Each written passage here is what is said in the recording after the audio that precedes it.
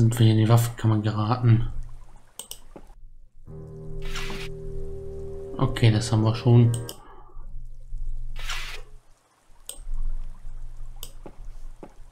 Den Askil, dem diese Rüstung gehört, möchte ich lieber nicht kennenlernen. Hey, lass das! Hm? Hallo? Ist da jemand drin? Äh, nein! Na dann. Pure Zeitverschwendung. Damit würde ich nicht mal einen Kratzer verursachen.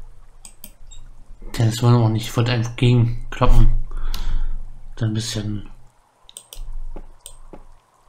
ein Knüppel. Okay, wir brauchen hier noch irgendwas, womit wir Fliegen fangen können. Nein, ich bekomme ihn nicht einmal umgeschubst. Tja. Nein, hier ist nichts. Dabei hätte ich schwören können. Ach, egal. Irgendetwas an dieser Wand kommt mir seltsam vor. Hm, aber hier ist nichts. Ich muss mich getäuscht haben. Hm, nein. Wenn es... Hm, nein. Wenn es hier einen versteckten Mechanismus gibt, dann lässt er sich auf diese Weise schon mal nicht öffnen. Okay. Der Mechanismus wird uns wahrscheinlich der liebe Punkt gleich spawnen.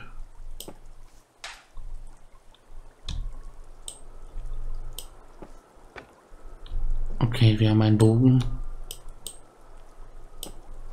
Wir haben ein Messer. Wir bewaffnen uns hier richtig. Eine Rüstung. Die haben wir jetzt aber nicht mitgenommen. Oh, schade.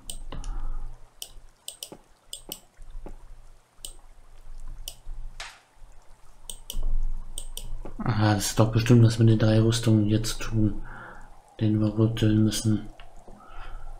Ja, hier in diesem Raum gibt es natürlich erstmal ähm, eine weitere äh, Referenz auf äh, das Labyrinth. Ein Rätsel, das Marco gemacht hat. Ähm, Aha. ja, möchtest du was äh, zu erzählen? Nee. Ich, ich finde das ziemlich äh, äh, genial implementiert. Aber ähm, ja, man, äh, wir wollen natürlich auch nichts verraten. Da müsst ihr schon selber dahinter kommen. Ach was, du spoilerst nicht? Ja. Punky Das spoilert ausnahmsweise äh, nichts, das ist ja der Wahnsinn. äh, cool finde, ist, ähm, äh, äh, dass wir hier äh, eine weitere Gelegenheit hatten, um äh, unseren äh, äh, schrägsten Sprecher äh, aus unserem Sprechkader äh, zu, zu installieren, und zwar den Mike Nikitin, der hier äh, den Koch der Askil gesprochen hat. Äh, und der hm, äh, äh, sich hier in diesem Screen versteckt. Äh, und äh, Mike hat unter anderem ähm, äh, Droggelbecher gesprochen. Er ist der Droggelbecher-Sprecher. Droggelbecher? Der hat äh, so eine schrägen, so ein Sehr schräges schön. Organ, der Typ. ähm, und in diesem Fall äh, äh, ja, spricht er den äh, Koch. Und wenn mich nicht alles täuscht, singt er ihn von Zeit zu Zeit auch. Also ein bisschen erinnert es an, ähm, an seine Rolle von äh, Memphis, dem Charakter aus Harveys Neue Augen, der sich halt auch äh, äh, in einem Screen versteckt und äh, auch das? dort, äh, singen darf. Ähm, ja, mit Mike müsste man eigentlich viel häufiger arbeiten. Das äh, ist ein schräger Typ. Ich, ich mag ne Mike. Auf jeden Fall. Genau. Ich erinnere mich jetzt auch gerade, was du meintest. Ich wusste gerade gar nicht so genau, was du meintest mit dem Labyrinth. Ah, natürlich. Ja, doch, doch, doch, doch. Also es gibt da eine Stelle, die wird man auch nicht sofort finden. Ähm, sie ist auch nur in diesem 2D-Raum eigentlich möglich. Wäre es 3D, würde es nicht richtig funktionieren. Man könnte es mit Labyrinth vergleichen. Bei Indiana Jones 3 gibt es auch so eine leichte Variante, wo sowas drin ist, was eigentlich nur im zweidimensionalen Raum funktioniert. Ähm, wer es findet, wird es vielleicht ganz nett finden. Ich finde es Oder total furchtbar. Aha. Jetzt müssen wir mal danach suchen. Machen wir mal die Tür zu. Sie sind fort. Fast wäre mir schon wieder die Luft ausgegangen. Aber egal. Diese Trottel werden mich nie finden. Niemals. Ich bin so pfiffig. Dup, dup, dup, dup, dup, dup. Der Koch ist ein pfiffiger Recke, keiner findet sein Versteck. Sie suchen in der finstersten Ecke. Sie suchen der finstersten... Ah, was? Wie? Oh, oh, oh. Trockenbecher. So schnell bekommt den da keiner raus. Okay. Hey, du da! Hey, du da in der Rüstung! Hallo, ich hab dich gefunden. Mann, jetzt tu nicht so. Ich weiß, dass du da drin bist. Bin ich aber nicht. Ich kann dich sehen. Vielleicht äh, leidest du unter Halluzinationen? Bist du denn wenigstens eine Halluzination, die Fragen beantwortet? Mal sehen. Wer bist du? Ich bin niemand. Nur ein Hirngespinst. Und warum solltest du dich dann verstecken? Ich versteck mich nicht. Ich bin gar nicht da. Ach, wenn das so ist, kann ich dein Versteck ja überall rum erzählen. Was? Nein. Wie wir gerade eben erfahren haben, der Sprecher, derselbe Sprecher, der Drogebecher gesprochen hat. Hurra. Was machst du da drin? Hier drin? Hier, hier drin ist niemand. Verschwinde einfach. Drogebecher. Warum sollte ich dich nicht verraten? Weil du ein anständiger Mensch bist und kein verlogener Ski? Wenn du gar nicht da bist, wäre das Versteck doch entsprechend leer. Ja. Ja, aber. Dann kann ich es doch auch genauso gut rum erzählen. Was? Wem? W wem willst du was erzählen? Na, wem wohl? Ich werde es dem lispelnden Wächter erzählen. Ha! Das sagt mich gar nicht. Du kennst ja nicht mal seinen Namen. Ähm, wie hieß denn der nochmal? Er heißt Bobby. Ach, ach ja? Und was willst du ihm dann sagen?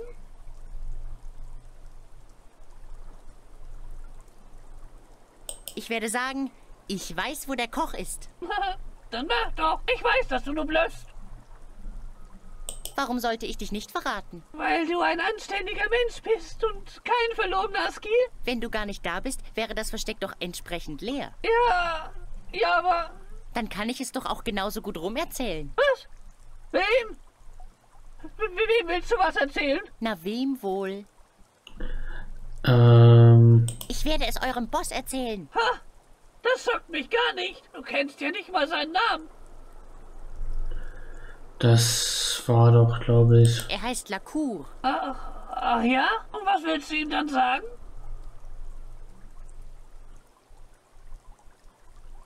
Ich werde sagen, ich weiß, wo Gorni ist. dann mach doch. Ich weiß, dass du nur blöffst. Aha, das waren, glaube ich, Warum die falschen Info. Weil du ein anständiger Mensch bist und kein verlogener Ski? Wenn du gar nicht da bist, wäre das Versteck doch entsprechend leer. Ja, ja, aber... Dann kann ich es doch auch genauso gut rum erzählen. Was? Wem? W wem willst du was erzählen? Na, wem wohl? Ich werde es dem König erzählen. Ha! Das sagt mich gar nicht. Du kennst ja nicht mal seinen Namen. Ein weiteres tolles Rätsel. Er heißt Luco. Ach, ach ja? Und was willst du ihm dann sagen?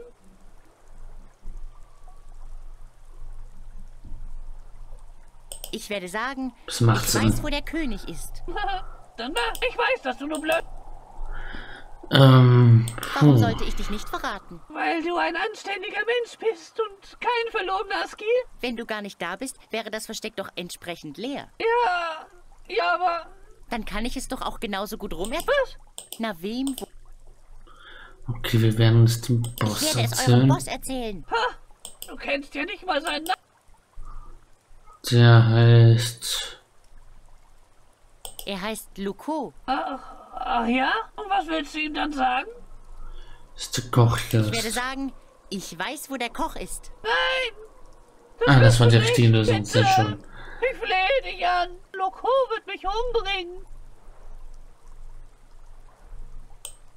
Also nochmal. Warum versteckst du dich vor Luco? Na, warum wohl? Ich habe sein Lieblingsessen verhunzt. Wie die letzten drei Köche. Aber ich will nicht so enden wie sie. Bitte verrat mich nicht. Was ist denn das Lieblingsessen? Schimmelsuppe. Igitt, die hat Opa auch immer gemacht. Hey! Es handelt sich um ein traditionelles Gericht der Askil. Eine wahre Delikatesse. Naja, die Schimmelsuppe war immerhin besser als ein Warzeneintopf. Es ist auch nicht so einfach, eine gute Schimmelsuppe zu machen. Das Rezept ist ein uraltes Geheimnis. Nur die allerbesten Köche können sie richtig zubereiten.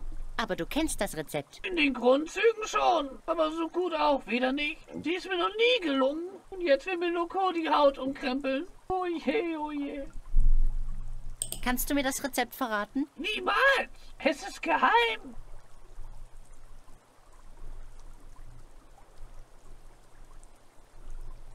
Wenn du es mir nicht sagst, verrate ich dein Versteck. Das wirst du nicht tun! Ach ja, und warum nicht? Du bist ein argloser Mensch und ja, du bist ein Held! Helden tun so etwas nicht! Hallo, Luko! Ah, das schockt mich gar nicht! Du Aha. hast nur... Ich weiß, wo der Koch ist. Streng dich nicht an! Das beeindruckt mich überhaupt nicht! Na sicher. Lass es bitte einfach bleiben, okay? Hier oben in der Waffenkammer. Okay, okay, du hast hier gewonnen. Ich verrate dir ja das Rezept. Du sei bitte endlich leise.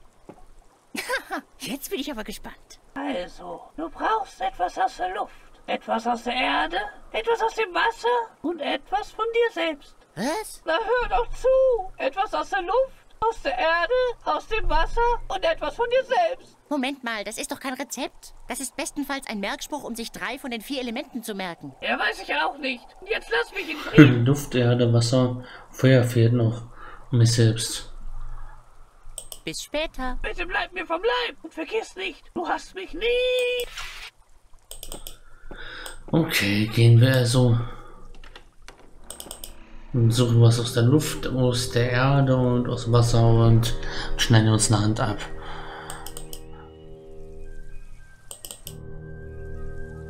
Ähm, ja, wir haben ein Messer, können wir das vielleicht schärfen? Das könnte doch was bringen.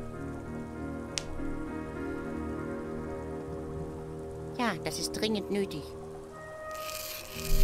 Ah, Funken im Auge, Funken im Auge, verdammt. So, jetzt können wir doch bestimmt das Halteseil durchschneiden und mm, wir lassen einfach die restlichen Rätsel und hauen einfach ab. Endlich ist der Weg in die Höhle des Löwen wieder frei. Wir ignorieren jetzt alles, äh, das Rezept und so, das ist den, den und hauen einfach ab. Die ganzen Rätsel. Wir hauen einfach ab.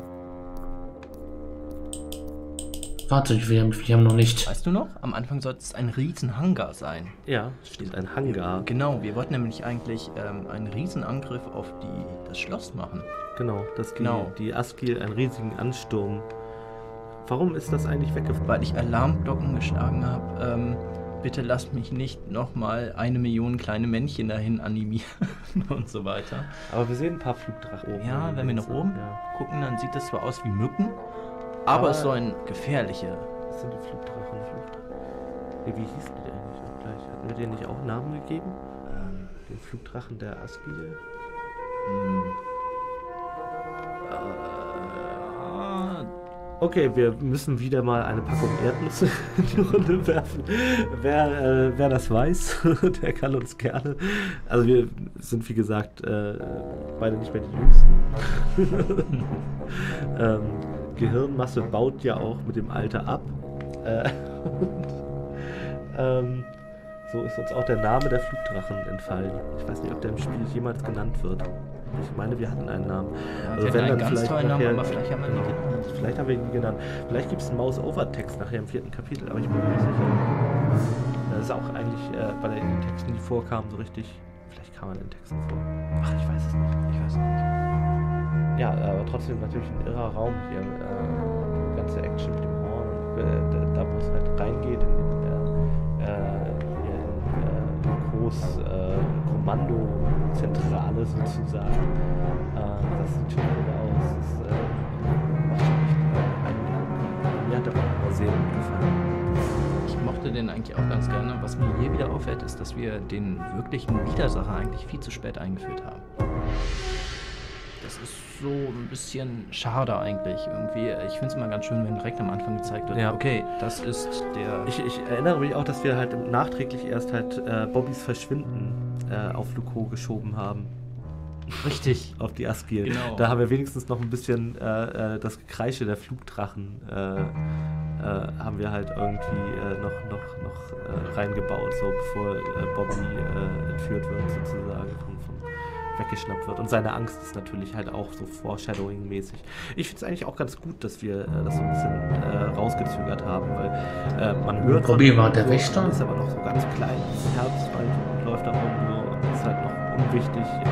Und er hört von diesen großen Ereignissen und kriegt aber nur die, die äh, Effekte zu spüren und kriegt es halt nie so richtig Ja, zu kommt sehen. immer drauf an. Irgendwie will Also man den Imperator erst in Episode 6 wirklich zeigen oder will man schon irgendwie einen Widersacher auch direkt irgendwie spürbar machen? Genau, man könnte ihn natürlich auch nachträglich in der Special Edition halt schon Direkt am Anfang, genau. Ja. direkt am Anfang zeigen. Aber, Ja, mit Spot spielt. genau, wir, wir, machen, wir machen doch jetzt eine Special Ja, Edition. Da vielleicht ist er der halt auch Bauer einfach von Spot. Weißt du, äh, was, was ich. Genau, wenn er der Erbauer von Spot wäre, Ja, hier genau. Luko, das, Das ist ja voll die. Special Edition, Und man könnte halt auch so ein äh, riesiges äh, Zottel-Alien halt irgendwie reinbringen, das halt irgendwie so ein bisschen mehr Comedy Ja, reinbringt. Mist, super Genau. heftig. Mist, äh, genau. S- Sedgwick super heftig. Der, dann wäre es auch viel lustiger, weißt du? Es, einige finden ja die Story um Whispered World viel zu traurig. Dann wäre es auch was für das junge Zu Publikum zum Beispiel, Ja. ne? Das wäre voll cool. Und äh, mehr Lichtschwerter. Und einfach Star Wars nachmachen. Ich befürchte aber, dass wir so schnell mit hier nicht rauskommen. Das Rätsel und so weiter, das ist. Das, das mit dem Koch und so, mit dem Wasser aus, aus Luft, Erde und Wasser und so, das, das Spiel lässt uns hier nicht so leicht gehen. Also, wir kommen hier nicht raus. Die Tür ist wahrscheinlich fest verschlossen. Also müssen wir wahrscheinlich. Nein, fest verschlossen. Dachte ich mir. Da kommen wir wahrscheinlich um das Suppe machen nicht herum. Lieblingsessen zubereiten. Tja, dachte ich mir, wir können zwar hier raus, aber es hilft uns jetzt nicht wirklich nennenswert weiter. Was, dass wir jetzt hier den Stein abschneiden Hier aus kann ich es nicht lösen. Es ist oben festgekommen.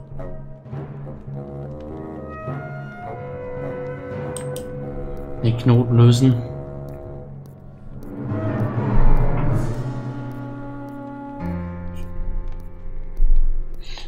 Das, der Stein, könnte doch was vom Boden sein, aus der, aus der Erde. Könnte doch durch der Frosch ist vom Wasser.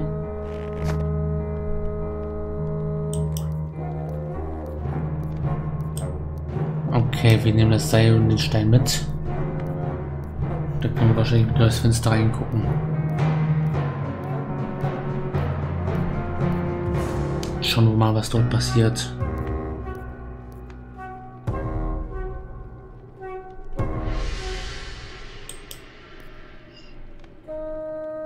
Tja, wir müssen eine Münze und ein Seil.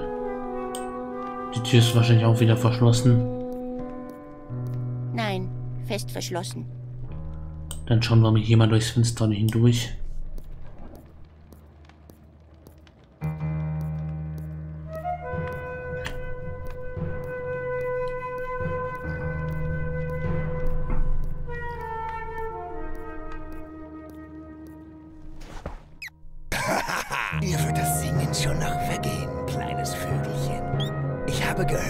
Der Koch eine hervorragende Raupensuppe macht. Oh, Spot! Keine Nein! Angst, noch bist du nicht an der Reihe.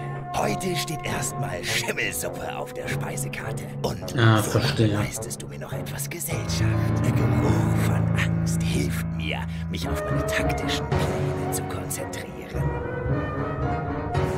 Verstehe, wir werden ihn mit der Suppe ablenken müssen. Okay, Nein, der Askil-Chef würde mich bemerken. okay. Uh, was mache ich hier eigentlich? Wie bin ich da nur reingeraten? Oh Mann, oh Mann, oh Mann, oh Mann, oh Mann. Alles klar. Audiokommentar. was mir zu diesem Raum einfällt, ich habe es noch nicht gesagt, deswegen sage ich es jetzt, ist, ähm, dass ich äh, hier das äh, einzige Mal in Whispered World selbst eine Animation gemacht habe. Da weiß ich gar nichts, Mann. Erzähl. Ja, äh, tatsächlich ähm, war äh, ein Tag, bevor wir abgeben mussten, ein Tag vor Goldmaster, äh, war ich noch der Meinung, äh, dass es halt irgendwie äh, blöd ist, dass ähm, äh, da ein bestimmter Sachverhalt, von dem ich jetzt natürlich nichts erzählen muss, nicht durch eine, möchte nicht durch eine Animation eine entsprechende abgefangen ist. Das war das äh, Set oben. Wir hatten halt eine ähnliche Animation, ähm, aber brauchten die in zwei Varianten. Und die, äh, diese zweite Variante habe ich dann einfach selbst zusammengebastelt äh, aus vorhandenen Grafiken. Und äh, die ist auch tatsächlich ins Spiel gekommen. Und äh, ich weiß, Bade erzählt diese Geschichte immer noch sehr gern, äh, weil er meint, ich äh, hätte da wie ein äh, Besessener äh, äh, gesessen und gesagt, nein, das muss noch passieren. und da mache ich es halt selber. das dann auch tatsächlich gemacht habe. Ja, ja. Ich war unausstehlich in dieser Zeit. Erzähl doch mal, ich will das jetzt wissen. Welche war das? Ähm, Okay, hört mal weg. Ja, genau. Hört mal bitte weg, weil äh, das könnte euch spoilern. Das ist, ähm, wenn Cedric oben durch äh, das Gitter guckt und halt äh, mit dem Schlegel, an dem Krupper dranhängt, halt versucht, irgendwas äh, zu erreichen. Der muss doch irgendwie äh, äh, mit dem Krupperschlegel irgendwo, irgendwo ranlangen. Ja, ich glaube, den Eimer er Genau. erreichen. Das ist Und- von dir? Äh, die Animation ist von mir. Ja. Schlecht. Ja. Ansonsten, ähm, genau, äh, ist halt auch noch bemerkenswert, dass hier äh, natürlich äh, Sedgwick das erste Mal ohne äh, Spot auskommen muss. Ähm, in diesem Part. Also, dass es hier einen Part gibt. Also, ich glaube gar nicht ganz von Anfang an. Also, wenn ihr es jetzt zu früh angeklickt habt, dann werdet ihr hier ebenfalls gespoilert. Na, danke. Ähm, genau, und äh, das spiegelt sich nachher äh, ebenfalls äh, im späteren Spielverlauf irgendwie auf eine ganz andere Art und Weise. Also hier muss äh, Sedgwick einmal ohne Spot auskommen und äh, dann passiert später auch noch was anderes. Ja, was ich hier sehr schön fand, war auch die Entwicklung irgendwie, dass er das erste Mal irgendwie Spot auch richtig zu schätzen lernt. Das fand ich halt super.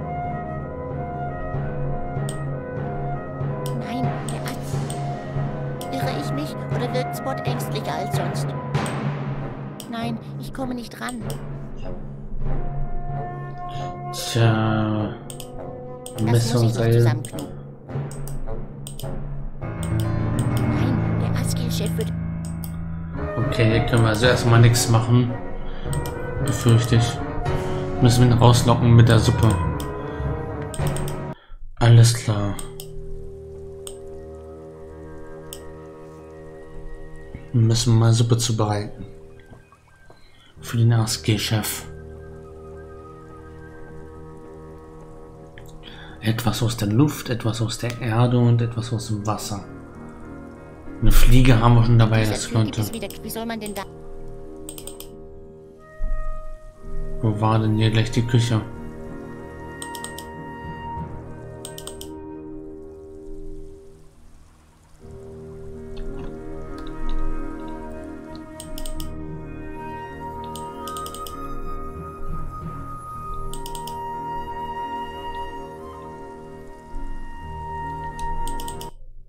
Hier war der Fressraum. Also was aus der Luft haben wir schon. Da drüben gab es noch die Pilze. Die Pilze können wir bestimmt mit dem Messer jetzt loswerden. Sehr schön. Da brauchen wir jetzt nur noch was aus dem Wasser. Und was wir aus dem Wasser kriegen, weiß ich schon. Da habe ich schon so eine Idee.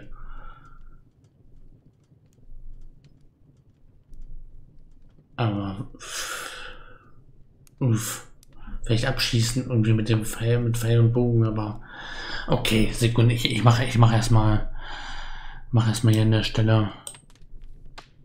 Und wer bist du? Krubber? Du bist aber ein ulkiges Kerlchen. Bei dem lieben Krubber mache ich hier eine kurze Pause. Ich brauche mal dringend ein Käffchen. Ich mache mir mal ein kleines Käffchen. Sehen wir uns gleich in 10 Minuten wieder. Dann fangen wir uns was aus dem Wasser und machen das Essen für den Arztchef und befreien hoffentlich Spott dann gleich danach. Sehr bald. Bis gleich. Und wer bist du? Krubba? Du bist aber ein ulkiges Kerlchen. Ach ja, habt ihn ja schon lieb gewonnen. Den guten Krubber. So, wir müssen den Frosch fangen. Der Münze können wir, können wir vielleicht irgendwie.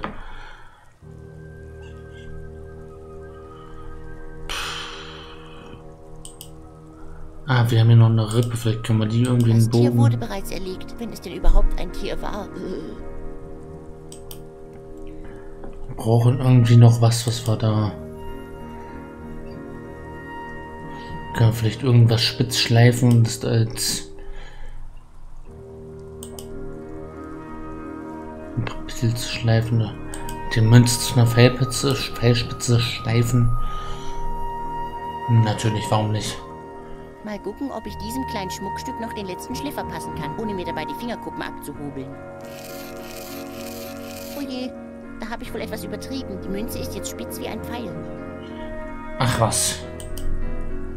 So, und jetzt mit dem. Mit der Mein Rippe. Konstrukt kommt einem Pfeil schon sehr nah, irgendwie. Ja. Kann man so durchgehen lassen. Pfeil und Bogen. Ist noch mit Seil, damit wir den. Damit wir den Frosch damit zurückbekommen. Und wir uns den Frosch. Ich würde ja gern, aber ich komme nicht ran. Mit Pfeil und Bogen kommst du ist okay. Ähm, können wir hier vielleicht irgendwie hier. Hebel. sollte ihn nicht verschwenden. Da ist doch ein, Frei, äh, ein Seil dran. Auf den Holzbalken schießen. Als ob. Okay, jetzt haben wir ein Seil. Aber wir sollten noch, wir wollen doch den Frosch fangen. Okay, fangen wir ihn mit der Hand oder was? Hey, hier geblieben. Das war zu erwarten.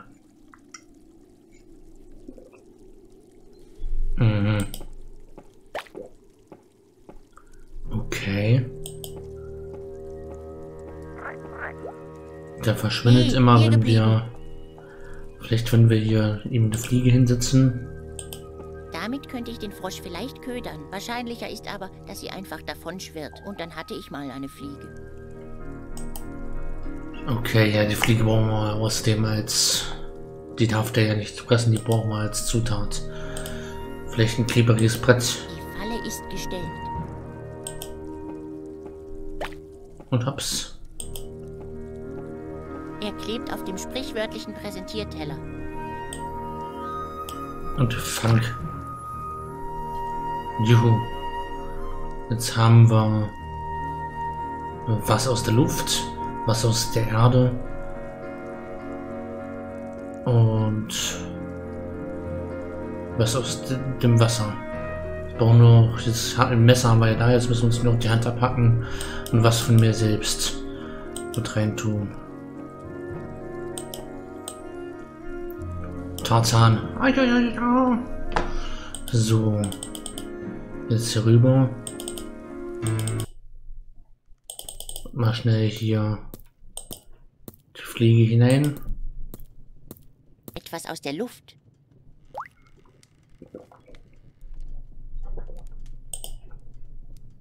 Etwas aus dem Wasser. Und etwas aus dem Boden. Etwas aus der Erde. Und etwas von mir selbst. Äh, Körperteil willst du dir abschneiden? ähm, ich weiß echt nicht. Moment. Etwas aus dem Wasser, etwas aus der Erde, etwas aus der Luft und etwas von mir selbst. Hm, nein, das hier scheint mir nicht so recht zum Rezept zu gehören. Aber was nimmt was denn, was von. Was gehört uns selbst hier? Der Ich muss nicht probieren. Ich ko Ich muss nicht probieren. Ich koche nachher. Kannst dich mit der Nadel selbst pieken und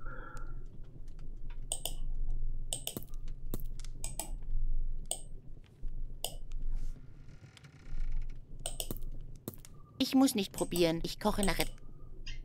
Okay. Ich dachte, anfassen. Die Askil sind bis an die Zähne bewaffnet.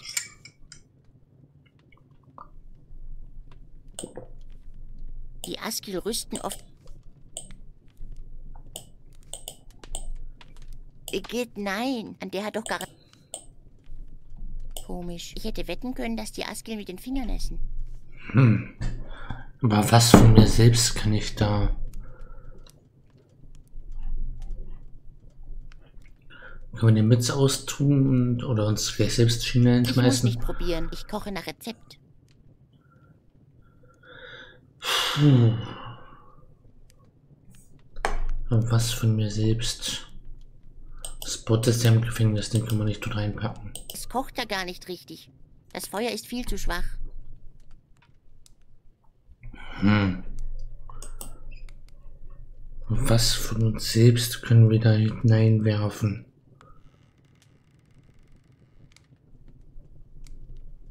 Tja. Oder vielleicht einfach. Was ist denn das für ein Lärm da draußen? Na, wartet. Wenn ich bei diesem Radau den Essensgong überhöre, werden Köpfe rollen.